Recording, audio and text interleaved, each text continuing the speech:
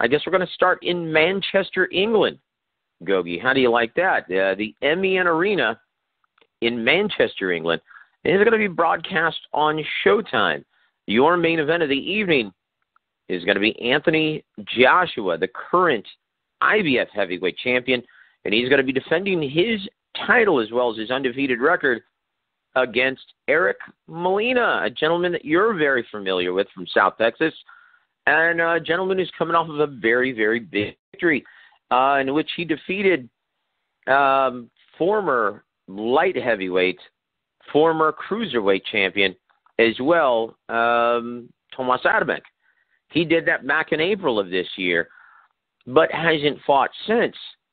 Gogi, do we even have to rattle off the tell the tape and even do the strengths and weaknesses of both fighters, our customary breakdown of this fight?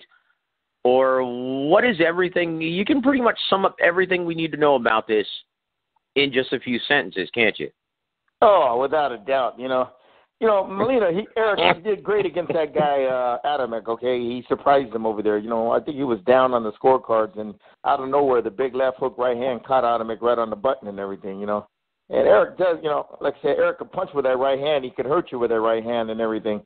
So anytime you, you know, uh you're a puncher, especially in the heavyweight division, uh, you know, you always have a chance, but it's gonna be a small chance when he uh, fights a guy like Anthony Joshua uh in his backyard.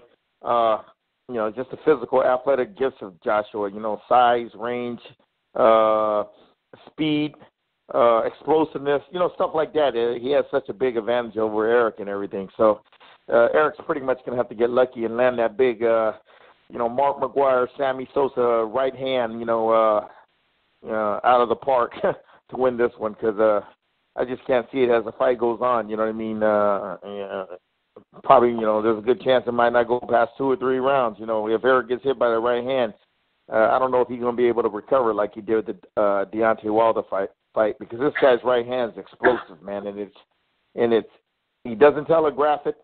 Uh, he doesn't, you know, uh, wing it, uh, you know, crazy like Deontay Wilder, as straight as an arrow, and it gets to his point real fast.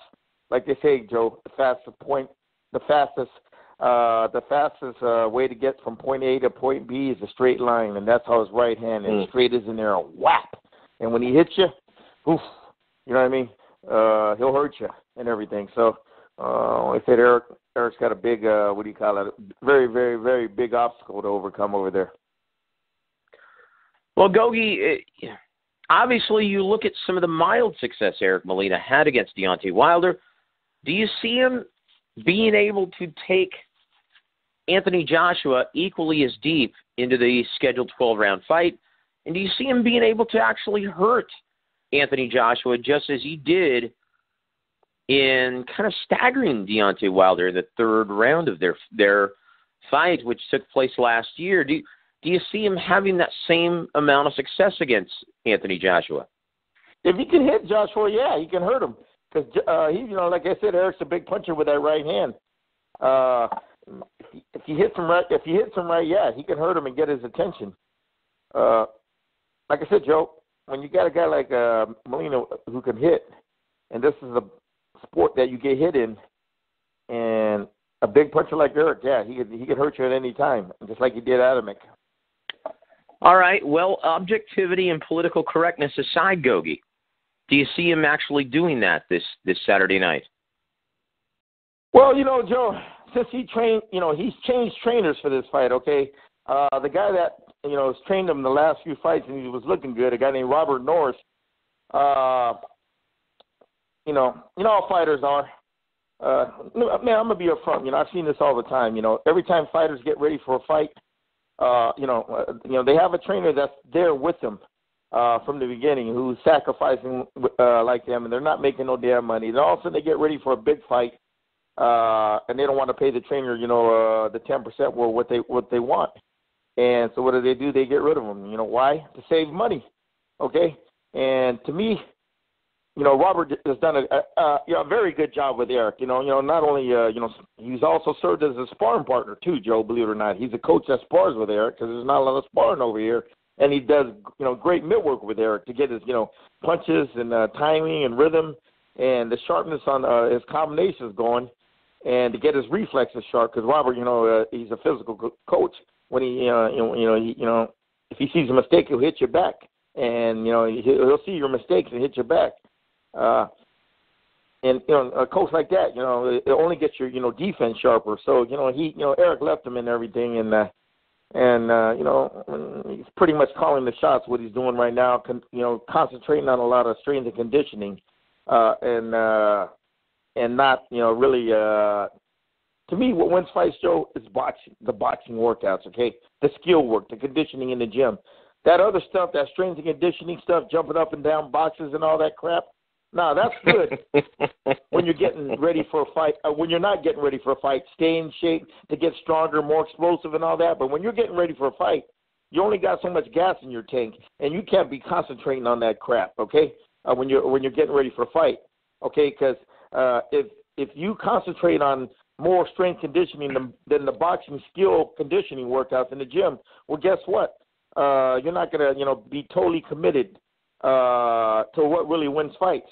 Okay, because you know I've seen a lot of guys they do a lot of that strength and conditioning stuff, but when they go to the gym, they don't you know for the real workouts that's going to win your fights. It does you know they're dead tired. They're, you know uh, they're exhausted. They don't have the strength or or or, or or or that or the what do you call it or that energy to to do the real workouts, the boxing workouts in the gym that's going to win your fights. Okay, and that's where I see a lot of these strength conditioning coaches nowadays. They don't understand that.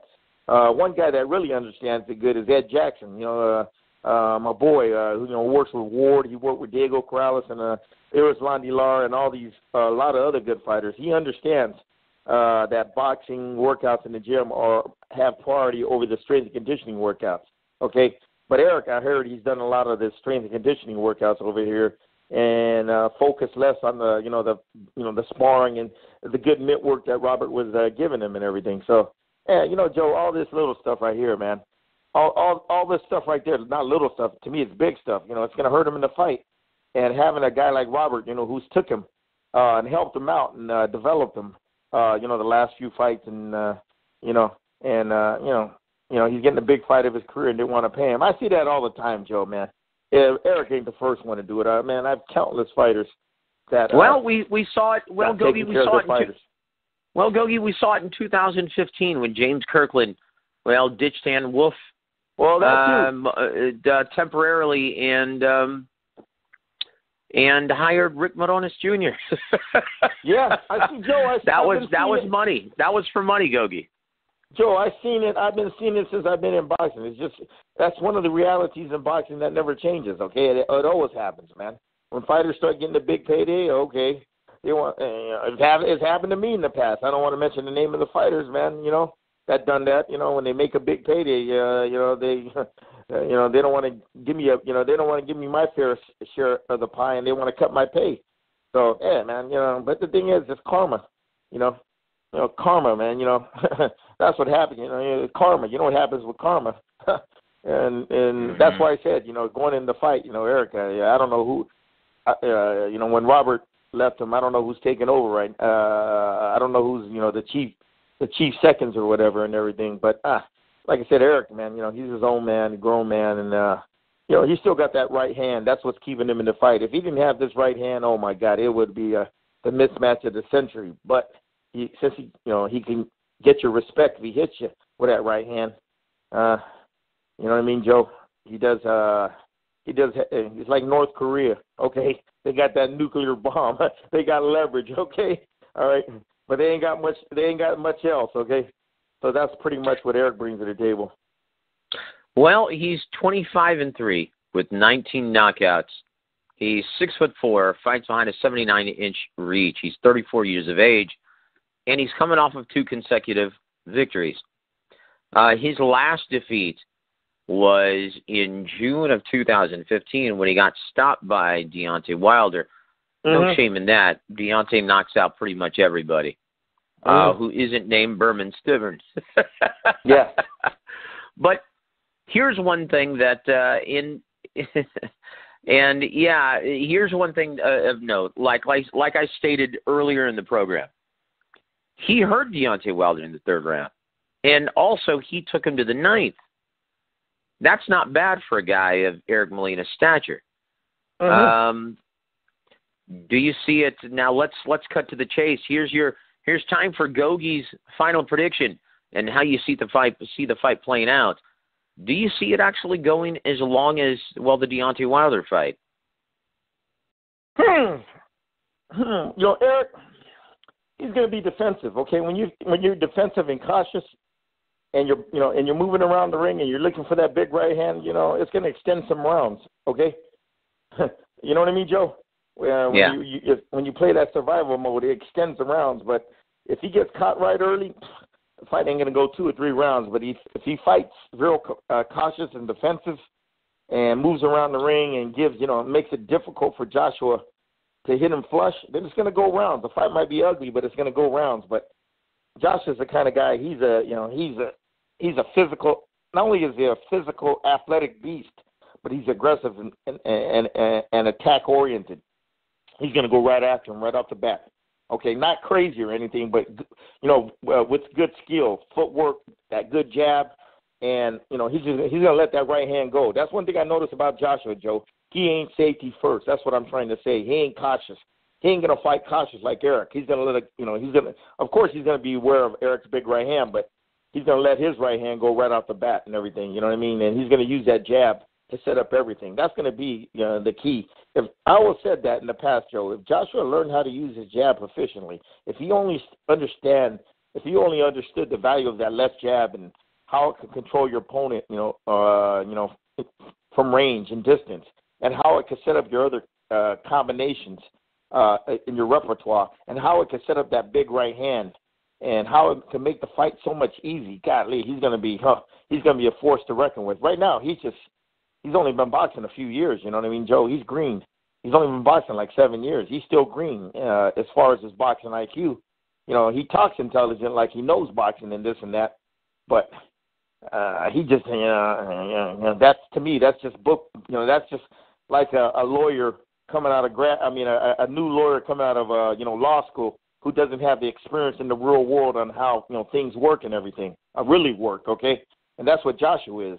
You know, he studies the game a lot. He's intelligent. He lots probably watches a lot of fights on YouTube and all that. But that's that's just book knowledge. He doesn't have that real experience in real fights. Okay, he hasn't been in the game long enough. Okay, Joe.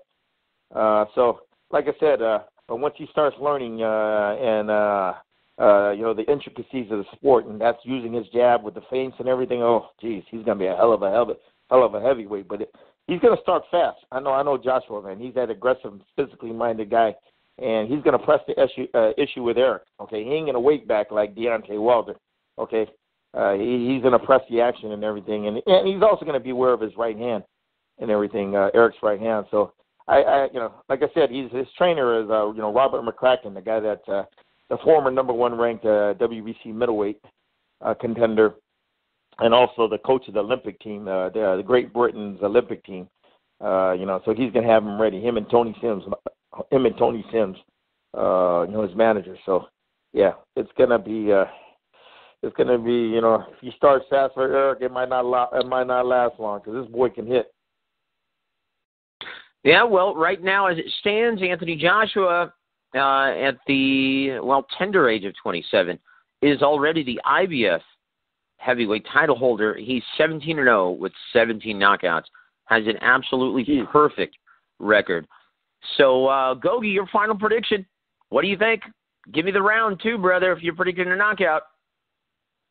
Me, Joe, under four. Under four rounds, especially if what's his name presses the issue. If he just kicks back and waits Eric's going to fight defensive. He's going to fight off his. He's going to be moving around the ring, you know, fighting off what you call your back foot, you know, working that jab, you know, waiting to counter uh, off uh, Joshua's mistakes, you know, to try to land that, you know, counter right hand or that or the uppercut and stuff like that and everything. So he's going to be moving around the ring. He's going to be very, very uh, attentive. Uh, you ain't going to see Eric lead a lot. I guarantee you that. If he does, he's going to get caught. So uh, you're going to see him, you know, just like when he fought Adam, use the ring a lot move around the ring and but you know like I said, uh, Joshua, you know, you know, you know, he'll, you know, he's an aggressive-minded uh, heavyweight man. I like that's what I like about that guy. He's got the mentality of a smaller weight division fighter. You know that he ain't scared to put his damn combinations together. Okay, and I really believe he's gonna, you know, uh, walk him down and uh, And you know, if he hits him, like I said, when he hits him, he ain't gonna be like Wilder. Uh, you know, uh, he uh, this guy has a different type of right hand than Wilder, man. This this guy is, you know, Wilder is like long and stinging and explosive. This guy is like a like a bazooka, heavy-handed. You know what I mean? Boom! And when he hits you, you know he breaks. You know he uh, he he brings down tall buildings, and that's the type of uh, the right hand uh, this Joshua has just explosive, Joe. Straight as an arrow. It ain't like Wilder, man, where he cocks it. You know, where he cocks his right hand back and he's telling the world. You know, uh, he's telling Putin, Putin, oh man, my right hand is coming. Okay, here it here it is. you know what I mean? You know, mm-hmm. this guy he throws it straight as an arrow right from his chin. Whap! Like Tito Trinidad. Remember him, Joe? His right hand straight as an arrow. Whap! Yep. You don't see it, Joe. Like I said, the fastest uh the fastest uh, way to get from point A to point B is a straight line, and that's how straight his uh, right hand is, straight as an arrow. Wham! And he just turns it over. And if he presses the action and gets that distance right on his right hand, Joe, it can, it can end in one. But it's just as soon as he lands that right hand, Joe, that's going to be the key. Okay. But me too, Joe.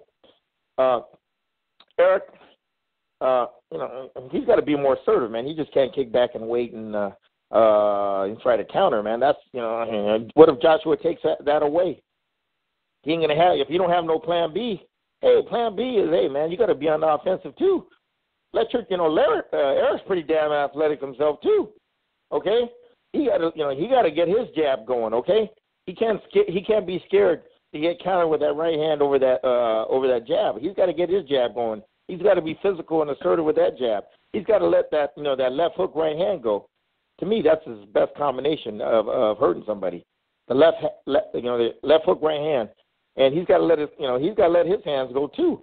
You know he just can't be uh, you know uh, playing it safe and waiting to land that damn right hand. And Joshua knows that. He'll see it, so he's got to let it, he's got to bring something else to the table, Joe, and that's being assertive and physical too. So what if he gets hit? Okay, all right. I mean, so what if he gets? I mean, he doesn't want to get hit, but you know, so what? Quit, quit letting fear. You know, because when you're when you're tentative, Joe, when you're fighting a guy and you're tentative of the guy, that's, that means you got fear in you. You know what I mean? Oh man, I don't want to get hit by that right hand. Hey man, don't get in that damn ring. You know what I mean, Joe? If you're going to be tentative of, of the guy and you don't want to, you know, you don't want to, you know, let your hands go, what the hell are you doing in that damn ring? Let your damn hands go. And that's what he's got to do is change his mentality. And uh, you know, because Eric can punch too. Eric got some athleticism when he lets his punches go. But you know, is he going to do it over there in that big crowd of twenty-one thousand or whatever sold out arena? Uh, screaming rabid, uh, you know, pound for pound the uh, best fans in the world in in, U- in the UK. So you know that could make a difference in the fight too, Joe. Is his mentality going into the fight? Is he going to be safety first and play it safe, or is he going to do both? You know, uh, you know, like Lomachenko, he knows when to put his foot on the pedal when he has to, and that's what Eric's going to have to do. Okay, all right. But like I said, this Joshua guy, boy, he ain't scared to, man. He'll he knows when to take his foot off the pedal, but he likes to mix it up, Joe. He's that physically, he's got that physically aggressive uh mentality. I like. He's got that little he's got that mentality of a little guy. Uh remember that fight with Dillian Whyte? Oh boy, they were exchanging. He you know, he got hurt in that fight. Okay, he recovered, but you know, you didn't see that you didn't see, you didn't see you didn't see that uh you didn't see that when he got hit by that right hand, Joe, you didn't see him turn into a safety first fighter. Soon as he cleared his head, what did he Joe? What did he do, do Joe? He went back on the attack. And one thing uh, Joshua does real good, he attacks the body good too for a heavyweight. Like I said, Joe, he puts his combinations together like a little guy, like a little Marco Antonio Barrera. He attacks the body too, both sides. So you know all, all this stuff, Joe, going in. You know, you know if he has a problem hitting Eric with the right hand, I always say hit that jab, you know, set up that, you know, set everything up with that jab. You can't hit him in the head, hit him in that chest, that stomach, you know, just to hit, just to hit something to get that distance right. Then, you know, hey, uh, then hit that body first, okay? Then the head, then they'll set up the uh, punches to the head. Because if Eric's defensive and he's expecting that right hand, he's taking that right hand away. Then hey, you got to hit other parts of his body to open up that right hand. And to me, Joshua, you know, he throws good body punches in there, and that, you know, uh, to me, you know, that'll set up that big right hand.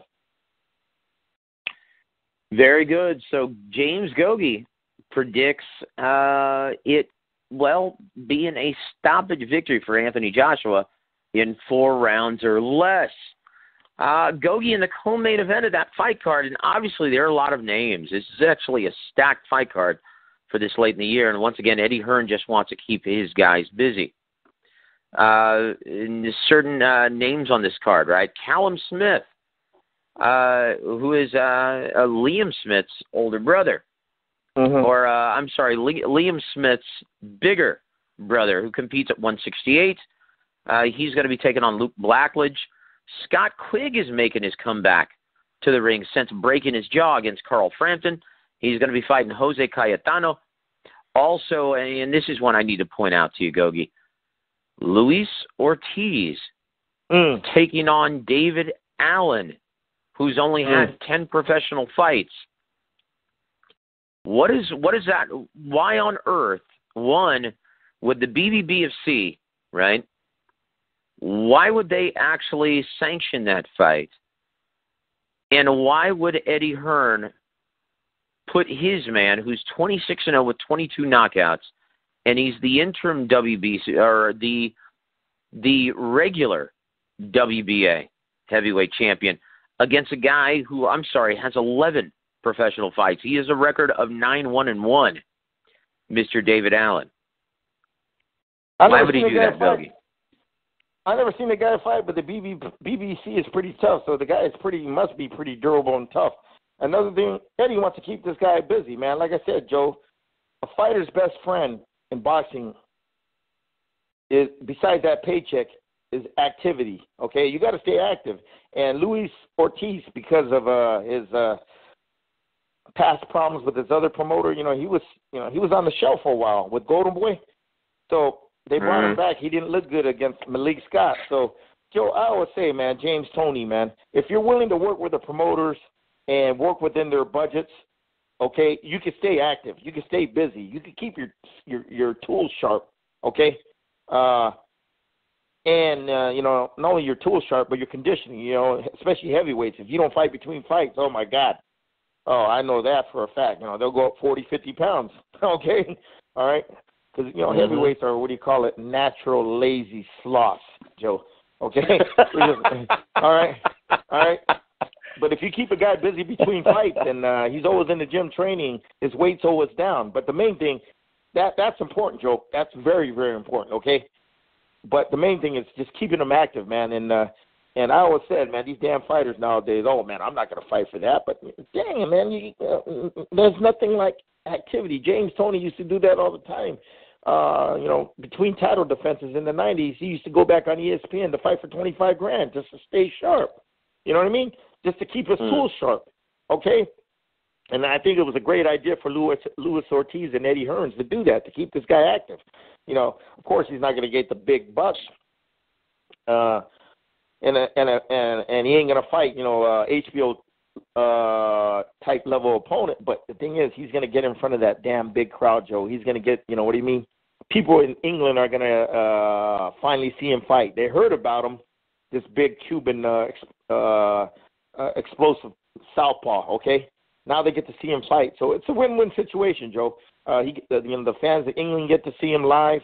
Uh, you know, the fan base out there, uh, you know, uh, you know, they're going to start calling for that fight for him and Joshua, you know, next year and everything. You know, like you said, like I said, Joe, when you got when you want to build a super fight, Eddie's smart. You, it's you put both guys on the same card and, and and put it in the oven and let it bake. Okay, so it's a win-win situation. That guy he's fighting, oh yeah, yeah, he's just going to be a you know a, a punching bag for how long it lasts. And but you know, Luis Ortiz, Eddie's going to you know number one, he's going to he's going to start uh, you know, the drums are going to start beating loud for this fight next year. The fans of England, uh, you know, get to see this guy, especially if he if he looks explosive, Joe, and he looks spectacular. Hell, man, they could have that fight in Wembley next year. You know, fifty, sixty thousand. You know what I mean, Joe? So, well, yeah. So, so yeah, the White Rhino, David Allen, is definitely not a defensive-minded fighter. He's not a guy who's going to be trying to run away from Luis Ortiz. He's going to be sitting in the pocket trying to work behind his jabs. He'll create several openings for Luis Ortiz. Guys, I don't, I don't see this one going past three or four rounds. Mm. So that's that's a, a huge reason why. Because you know you stated in his last fight against Malik Scott that was just it was just a month ago on uh, November 12th. Yeah, he got a lot of criticism for not taking out a guy like Malik Scott, but as you stated before, when you were addressing talking about Joshua versus Molina, you stated, well, when a guy is trying to survive and he's a world class fighter, boy, it's not all that easy to get him out of there. Like Malik Scott. Like Malik Scott. So, mm-hmm. guys, so look forward to Luis Ortiz's big UK debut mm-hmm. uh, on Saturday night at the at the MEN Arena. Now, there's something I do have to address before we actually move on to the other events, Gogi. Uh, also, in the co-main event, what's been picking up a lot of steam is Dillian Whyte versus Derek Chisora. Uh. Scheduled for 12 rounds for Whyte's British heavyweight title, and this is now, Gogi, a WBC title eliminator. Technically, the winner of this fight takes on the winner of either Deontay Wilder or the winner of Berman Stiverne, Alexander Povetkin. Mm. Uh, there have been a lot of media attention of this matchup lately, in a large part due to Derek Chisora. Um, Gogi, why on earth is he acting like a, a complete lunatic? And this is nothing new for Derek Chisora.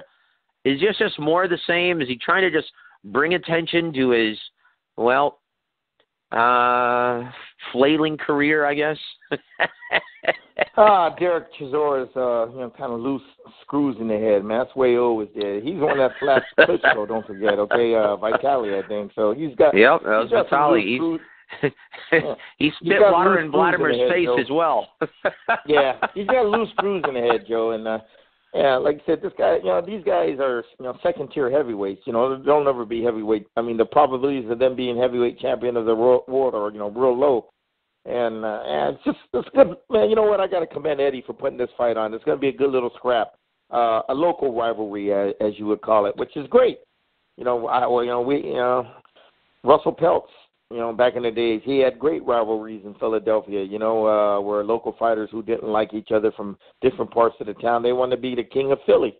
Okay, uh, uh, our good friend of the show, Don Chargin, Warwick, and when he was a promoter, when he was promoting over there in L.A. at the Olympics, he had a lot of rivalry fights over there uh, between locals, like Danny Little, Red Lopez, Bobby Chacon. They did like 17,000 fans. And Don said if he would have, if they would have listened to him and uh, been patient and let it, you know, let it uh, you know uh, bake in the oven a little longer, they would have did forty thousand at the uh, at the Coliseum. You know what I mean? But you know that, that that's why it's good. You know when uh, you know Eric Molina uh, Joshua fight, I don't think is going to be. Uh, I don't think that's going to give the fans worth their, their money's worth. But you know the the guys on the undercard like uh, that. What's the guy Ortiz? Okay, uh, they want to see that guy. Is that guy going to be a threat for Joshua? And if he looks, if he yeah, looks like, out there, yeah, yeah, all the names, all the names that I mentioned as well. But yeah, especially the heavyweights. That's what this card is all about, Gogi. Um, so here's here's the million dollar question.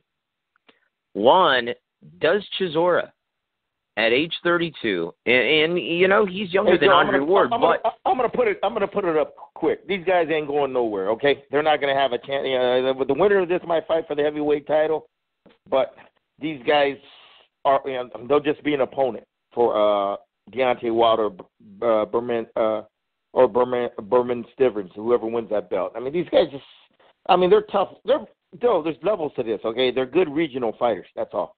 Uh, the fight on the world, the fight on the world stage, and uh, and win and be successful. Well, Chisora had, you know, you know, he had his chance and blew it.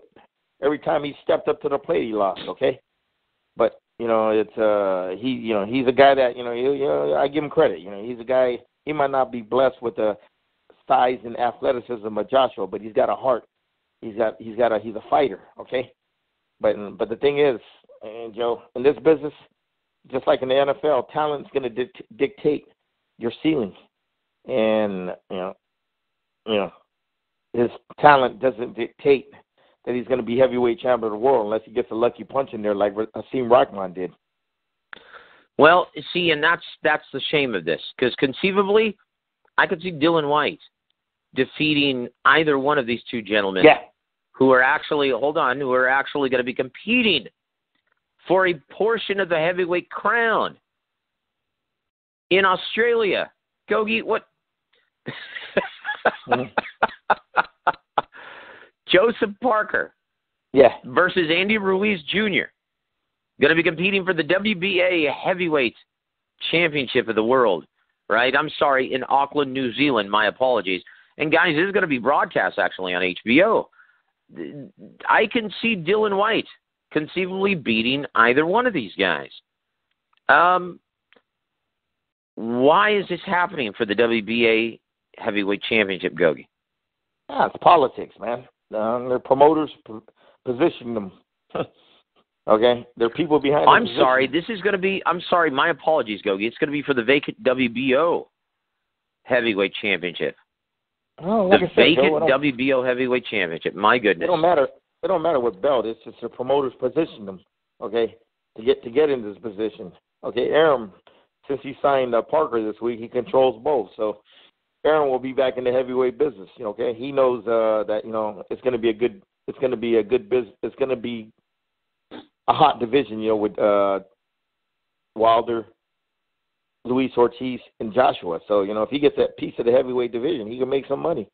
So that's why Joe, and uh, that's why Joe. Uh, what do you call it? Uh, Arum's back in the heavyweight division and everything. Okay, because uh, and it, it's creating some buzz because of Anthony Joshua and uh, a little bit of Deontay Wilder. Not so much Deontay Wilder, Anthony Joshua. He's creating the buzz in the in the heavyweight division again. So, Gogi, who wins this fight and why? Which one? Uh, the Parker? Parker versus Andy Ruiz Jr., sir. Man, Ruiz is going into the guy's backyard, Joe. Come on now. Uh, one of the judges is Robert Hoyle. That's the that's the Yeah. judge you hire when uh, uh, in house, okay? To make to protect your guy. Come on, Joe. Come on, man. It's the right. You know what I mean? That's the judge you hire when you Uh. when you want to protect your guy in house. He's a good in in house judge. I call him. He protects your well, investment. yeah, and top rank, and and it's no shocker to me that that Bob Arum actually signed Joseph Parker, right? Um, you know, he he I, he doesn't exactly have a ton of confidence in Andy Ruiz Jr., who's who's become famous now for pulling out of fights and uh turning down offers. So, And the guy I mean, how- disgusting, Joe. The guy looks disgusting. Is you know uh, the, the the Mexican Pil, Pil, Pillsbury Doughboy. Okay, you know he's got talent and ability, Joe.